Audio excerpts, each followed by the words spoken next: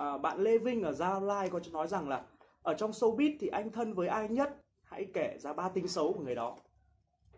Em nghĩ là nếu mà chơi chơi trong showbiz thì là à, bạn bè kiểu người làm nghệ sĩ làm ca sĩ cùng thì là có chị Hoàng Minh Di và Eric. Là những người mà thân mình chơi nhiều và mình hợp. Thì kể ra tính xấu à? À, tính xấu thì Eric thì cũng được cái là rất là khéo.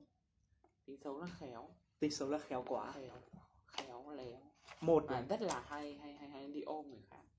Đấy là tính xấu thứ hai. biết là, là, đấy là tính xấu thứ hai. Không cần biết là thân hay không thân. Rồi. Cứ thấy người là ôm. Cứ thấy người là ôm à, à, còn chị Hòa thì chị Hòa thì cũng thực ra thì tân Hòa tân xấu chị Hòa cũng không nhiều lắm đâu. Cũng chỉ đếm trên đầu ngón tay thôi.